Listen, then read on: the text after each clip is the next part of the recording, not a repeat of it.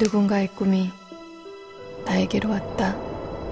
다시 말하지만 난 분명히 잠을 자고 있었어요. 이렇게 분명한 증거가 있는데 왜 거짓말을 계속하세요? 꿈은 기억입니다. 꿈을 통해 헤어진 애인을 보고 싶어하고 목류 상태에서 싫어하는 남자를 찾아가는군요. 그 남자 찾아가서 내가 무슨 짓을 했어요? 그 여자 그리워하니까 그런 꿈을 꾸잖아요. 당신은 몰라요. 내가 얼마나 싫어하는지, 얼마나 증오하는지. 더 이상 아무 꿈도 꾸지 마세요.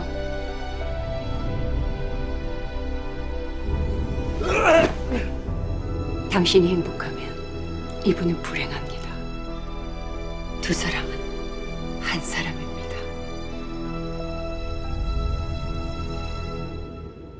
다음은 어떤 꿈인가요?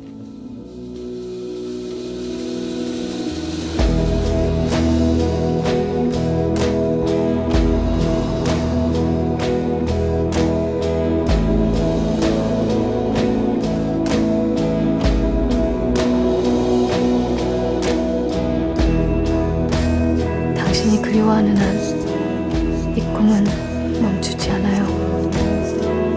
뭐가 보여요? 초감이래요. 그와 나의 슬픈 꿈. 비몽.